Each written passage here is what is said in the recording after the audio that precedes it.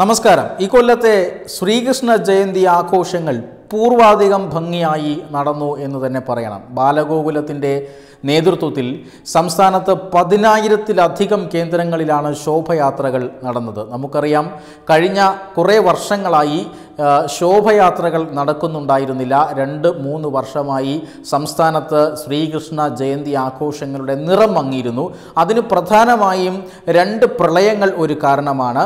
പിന്നീട് കോവിഡ് വ്യാപനം മറ്റൊരു കാരണമായി വന്നു. ആൾക്കൂട്ടങ്ങൾ ഉണ്ടാക്കാൻ കഴിയാത്ത രീതിയിലുള്ള നിയന്ത്രണങ്ങൾ നമ്മുടെ സമൂഹത്തിൽ ഉണ്ടായിരുന്നു. പ്രത്യേകിച്ചും കുട്ടികൾക്ക് വാക്സിൻ അടക്കമുള്ളവ ഇതുവരെയും കുട്ടികൾക്ക് ലഭ്യമായിട്ടില്ല.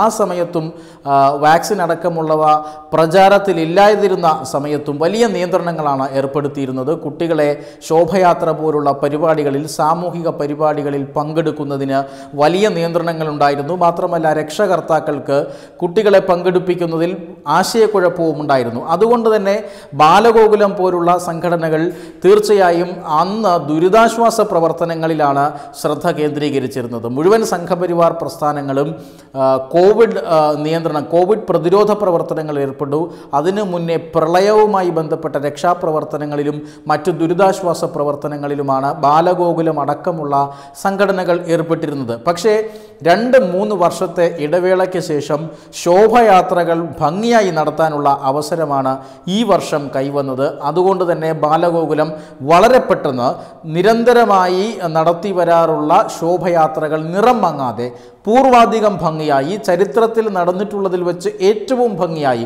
ശോഭയാത്രകൾ നടത്തണം എന്ന് തീരുമാനിച്ചിരുന്നു. സമയം വളരെ കുറവാണ്. സ്വത്വം വീണ്ടെടുക്കാൻ സ്വധർമാചരണത്തിലൂടെ എന്ന മുദ്രാവാക്യം ഉയർത്തിക്കൊണ്ട് ഭാരതത്തിന്റെ സംസ്കാരം ശ്രീകൃഷ്ണന്റെ ചരിത്രം ഭഗവത്ഗീതയുടെ ഉള്ളടക്കം എന്നിവ വിഭാവനം ചെയ്യുന്ന എന്നിവ വിളംബരം ചെയ്യുന്ന തരത്തിലുള്ള കുട്ടികളുടെ സ്വഭാവ രൂപീകരണത്തിന് ഇത്തരത്തിലുള്ള ആഘോഷങ്ങൾ പരമപ്രധാനമാണ് എന്ന് വിശ്വസിക്കുന്ന സംഘടനയാണ് കുട്ടികളെ ഓരോ കുട്ടികളെയും ഉണ്ണിക്കണ്ണന്മാരായി കാണുകയും ഈ ഉണ്ണിക്കണ്ണന്മാർ നഗരഹൃദയങ്ങൾ നഗരങ്ങളുടെയും ഗ്രാമങ്ങളുടെയും തെരുവീഥികൾ കീഴടക്കുന്ന ഒരു ദിവസമാണ് ശ്രീകൃഷ്ണ ജയന്തി.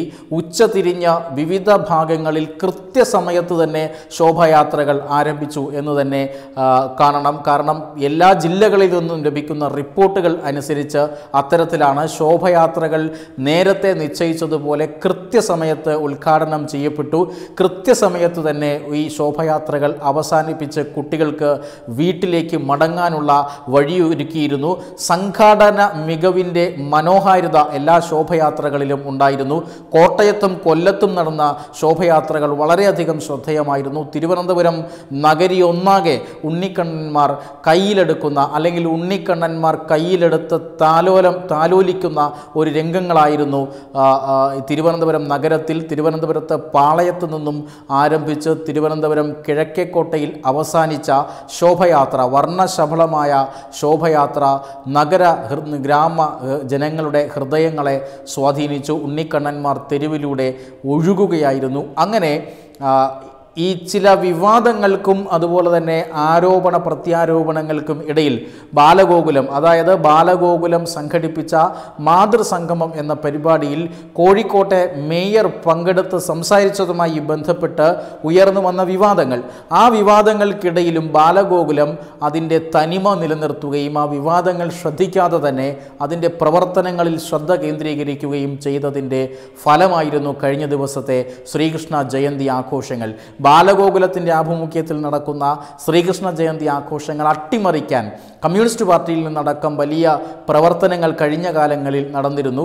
ബാലഗോകുലം നടത്തുന്ന ശോഭയാത്രകളിൽ കുട്ടികൾ പങ്കെടുക്കാതിരിക്കാൻ സ്വന്തമായി ശോഭയാത്രകൾ ശ്രീകൃഷ്ണ ജയന്തി ശോഭയാത്രകൾ മതേതര ശോഭയാത്രകൾ നടത്തിയ ചരിത്രമാണ് കമ്മ്യൂണിസ്റ്റ് പാർട്ടിക്കുള്ളത്. അതുകൊണ്ട് തന്നെ ഇത്തവണ എതിരാളികളെ പോലും നിഷ്പ്രഭമാക്കും വിധം വലിയ ജനപങ്കാളിത്തത്തോടു കൂടിയാണ് ഇത്തവണത്തെ ശോഭയാത്രകൾ കഴിഞ്ഞ ദിവസം നടന്നത് ഈ അർത്ഥത്തിൽ ഈ ഒരു പ്രവർത്തന റിപ്പോർട്ട് വെച്ച് നോക്കിയാൽ വിവാദങ്ങൾക്കിടയിലും പ്രതികൂല കാലാവസ്ഥകൾ തരണം ചെയ്ത് ശ്രീകൃഷ്ണ ജയന്തി പൂർവാധികം ഭംഗിയാക്കാൻ ബാലഗോകുലത്തിന് കഴിഞ്ഞു എന്നാണ് വിലയിരുത്തപ്പെടുന്നത്.